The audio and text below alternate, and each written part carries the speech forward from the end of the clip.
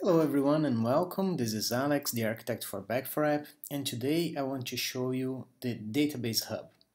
You can access the Database Hub going to this URL, back4app.com database, and in here you'll find many applications and templates already populated that you can just use with your applications. So if you search for templates, you'll find many templates of apps that you can just connect and use.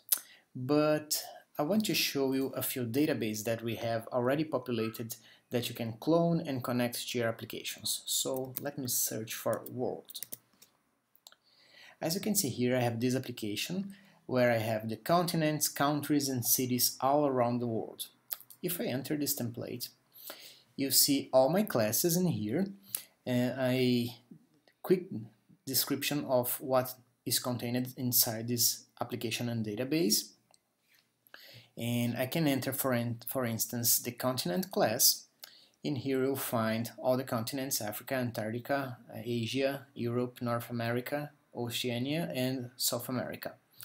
And all this is related to the other classes. So for instance I can come to South America see this relation and then I'll find all the countries from the countries class that are in South America. If we go back, I even have the cities based by countries and a few other data in, in here that you can use. So once you find a template or database that fits your needs, you can click the clone button here give it a new app name and then a new app will be launched for you inside your account that contains all the data from this uh, this template.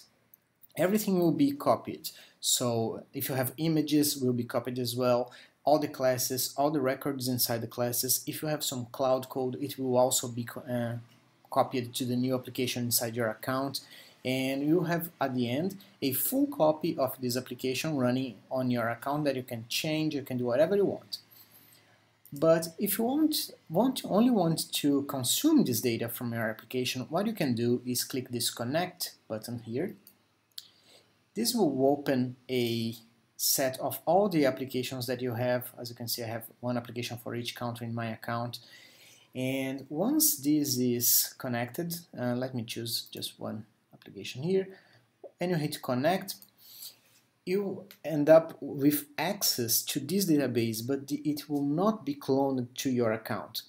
The good part about this is every time this database is updated since your application in your account is connected to it it will automatically reflect those changes. So it's a great way for you to have a constantly changing database being updated uh, from, from the owner of this application and keeping your data always up to date just by connecting it.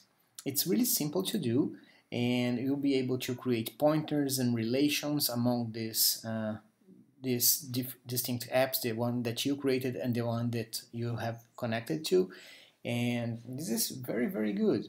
So I hope you enjoyed this video and on later videos I will show you exactly how to clone and connect.